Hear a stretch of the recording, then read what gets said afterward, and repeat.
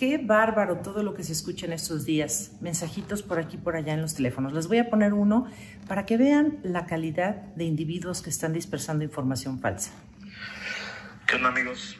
Eh, nada más información de primera mano. De primera. Estamos ¿eh? viniendo ahorita mucho al gobierno de la Ciudad de México. Nuestros amigos están ahí en gobierno.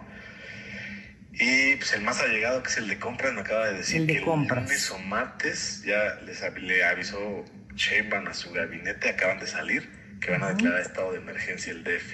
Fíjense. El DF ya está fundido, nada de lo que está saliendo en la tele es realidad. No hay un muerto, hay un chico. Ay, ya, mejor ni, ni escuchar más. Yo les pongo este ejemplo porque cualquiera ahora toma su teléfono y graba un mensaje diciendo que es muy allegado a una persona y que tiene información valiosa y que él es un gran poseedor de esos datos que tú necesitas saber.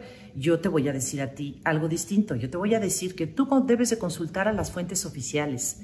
Es la Secretaría de Salud la encargada de dar esta información, no estos individuos que con intereses obscuros, no esclarecidos, toman un teléfono y dicen ser personas cercanas a no sé quién y te venden la idea de que tú debes salir corriendo a ponerte una vacuna, a hacerte un estudio de laboratorio, a hacer una compra en un supermercado. No, el gobierno es muy responsable aquí y en cualquier otro lugar.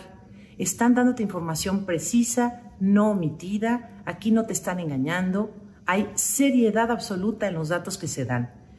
Por tal motivo, cada vez que te llegue una cadenita de estas, no la escuches y no la creas, porque lo que están es jugando con tu miedo.